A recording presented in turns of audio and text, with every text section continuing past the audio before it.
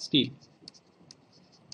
So this tells you the kind of steel and if you go look in look in Shigley in the last few pages you will find hot rolled, cold rolled, all kinds of stuff. So you can go normalized, annealed. So let us go back up here. 1050 hot rolled. Can you see that? Oops.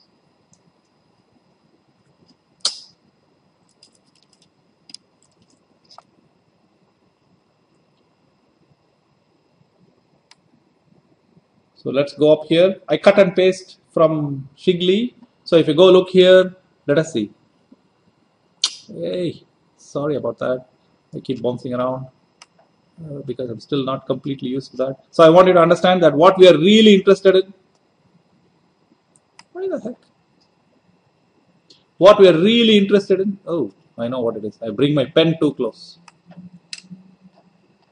What we are really interested in is in the tensile strength okay? And the first unit is megapascals. The second unit is K, kpsi so this is roughly along the column g. So i go 1040 1050 sorry we go up here there. 1030 10 1050 hot roll. That's 620 megapascals. I'm sorry i keep bouncing around. I'm still not used to it completely. Hot roll 1050 is 620 megapascals. It's here hot roll 1050 620 megapascals is ut sut okay? Um, that's our number and uh, we can now estimate everything from this. That's all i need. If i know the ultimate tensile strength i can estimate everything. So let us go up and see how to do that. Oops So let's close this. We go up here and we go here. So we need to know only one thing.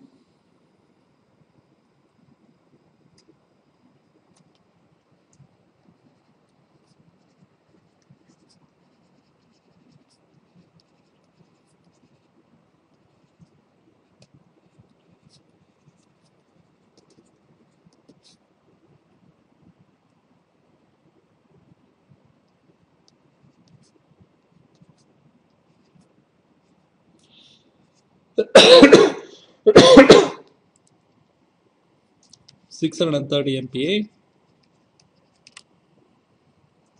So which is divided by seven. Uh, nine sevens are sixty-three, so it's about nine TKSI. So I can go up here and I can look up everything. So first thing to do is to say SE prime equals um, 0.5 times 630 which is 315 MPa. That means if the stress is below 315 MPa, this is the infinite life. How about the 10 to the 3 life? F equals from here, from this graph, 90 psi, S, F is about 0.86. Can you see that? It's about 0.86 right there. There you go. So F equal to 0.86. Um,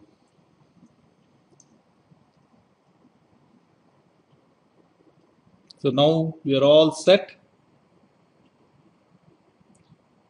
We can calculate B. B is minus one third log SF prime over SE prime.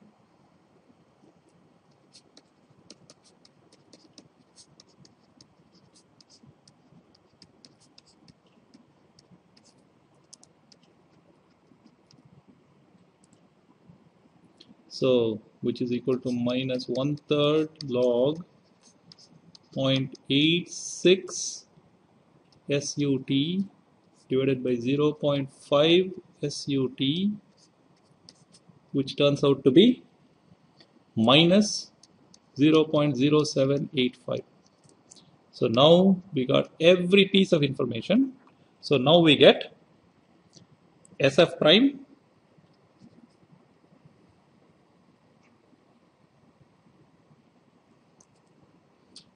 so let us see. Sn prime equals 0.86 over SUT n over 10 to the 3 times minus 0.0785.